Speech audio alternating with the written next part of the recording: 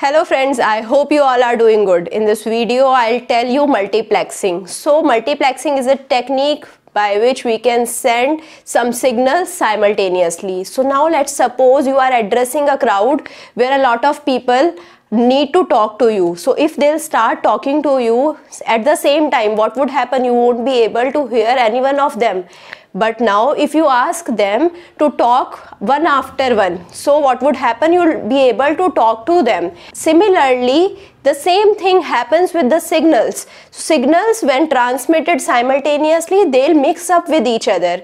But we don't want that. We want the signals to be transmitted simultaneously. If i am talking to a person over phone i want my mother also can talk to a person on phone simultaneously. So this is possible. This is possible with the concept of multiplexing. So multiplexing is a technique by which we can transmit signals simultaneously. So we have two types of multiplexing which is fdm or we call it as frequency division multiplexing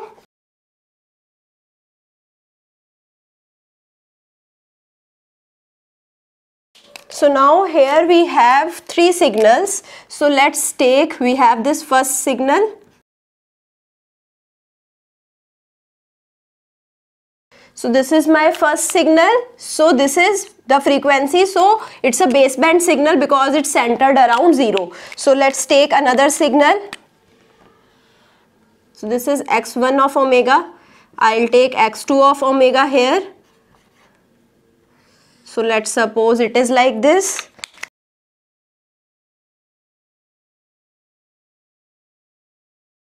And let's suppose this is my x3 of omega.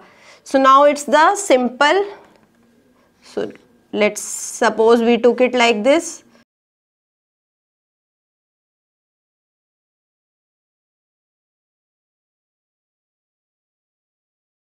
So now this is my x3 of omega.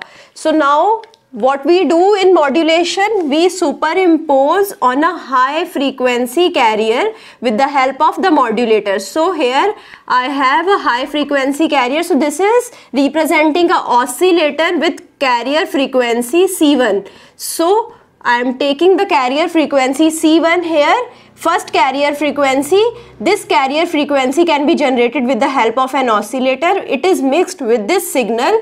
So here I'll get x of omega C1. So we'll get the frequency C1 here. So now similarly, when this signal is multiplied with the oscillator which is having C2 frequency, so here I'll get x of omega C2 and this signal when multi multiplied so here I'll get it is multiplied with C3 here I'll get x of omega C3 so now I am getting three signals at three different frequencies. Here C1 is not equal to not equal to C2 which is not equal to C3. So I am getting three signals at three frequencies. So my signal would be shown like this. So the first signal is at a C1 frequency. So this frequency is now C1 from 0 it lift up to the C1 frequency. Now second signal would be at C2 frequency so this signal would lift up to the C2 frequency and the third signal would lift up to the C3 frequency. So this is my third signal. It will lift up to C3 frequency and you can see here we have some guard band as, eh, as well. So these guard bands provide me sufficient space over which these signals won't mix up each other. So now what I have done, I have provided separate band of frequency over the separate signals can be transmitted. So I have divided the frequency into separate bands and now I am transmitting the signal. So now all of them are added so now these are added with the help of an adder. So this is my adder and this is transmitted to the channel. And in channel we'll be having this signal. So this signal would be there in the channel. I hope now you can see these are not mixing with each other because these are at different frequency levels. So now when we have to detect these signals so i'll be using band pass filter. So now for the first signal i'll be using the first band pass filtered now this band pass filter should be centered at C1 frequency. Here I'll be using second band pass filter which is centered around the frequency C2 and here I'll be using the third band pass filter which is centered around the frequency C3.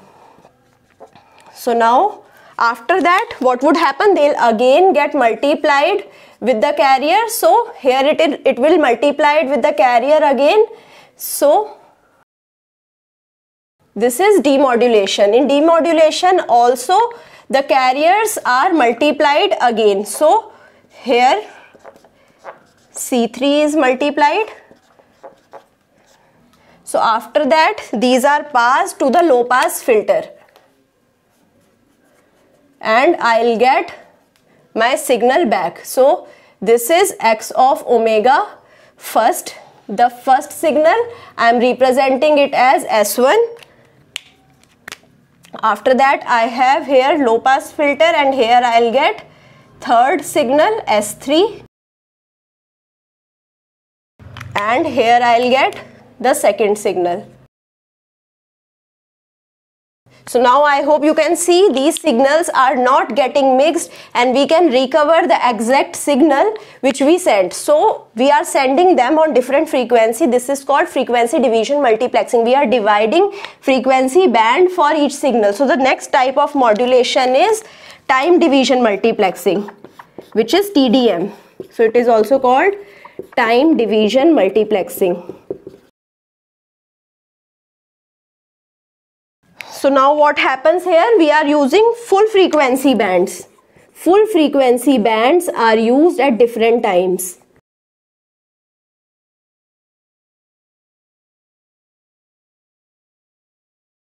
So we are using full frequency bands but we are using it at separate time intervals. So which would make delay in the signals.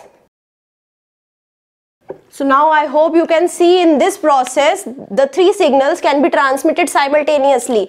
But here if we have 60 people who need to uh, talk to another person simultaneously then 60th person would have to wait till the 60 people have talked. So it, there would be some time delay which is not which is not a good thing here.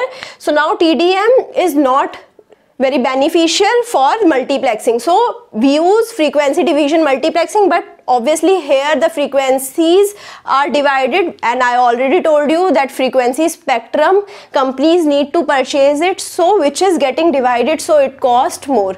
So now I hope you understood different types of multiplexing techniques in analog communication. I have already covered the multiplexing techniques in digital communication as well. You can go and watch that video. So now if you have still any doubt in any of these two multiplexing method you can ask me with the help of the comment box. I hope you like this video. If you like it, share it with your friends. Subscribe to the channel and push the like button. Thank you.